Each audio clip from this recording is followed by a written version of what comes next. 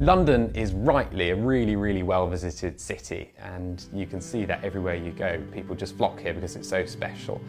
And they know where to go, it's, it's there in their, their guidebooks. But for me, there's another London which is starting to open up to everybody, and it's off the beaten track. And, and for me, that London is perhaps even more special than the London that a lot of people, visitors and locals alike, know about already.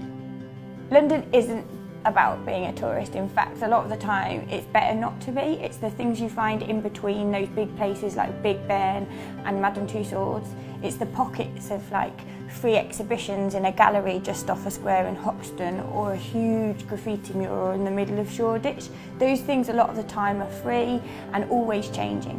If someone says they've done everything in London, they're lying because it's physically impossible. Because by the time you've done one thing, 10 things would have started and those 10 things would finish the next day, like pop-up festivals, like pop-up cinemas. You name it, London has it all. An area like Shoreditch is actually incredibly historic itself, but it's been rejuvenated in the last couple of decades and is now becoming a real centre for people to go out in particularly, have a drink, have a night out, uh, meet their friends, and they do offer something a bit new that both Londoners and visitors are increasingly want to, wanting to go and sample.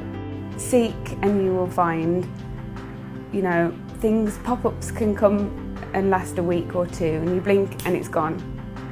So you have to have that interest, go looking and you will find.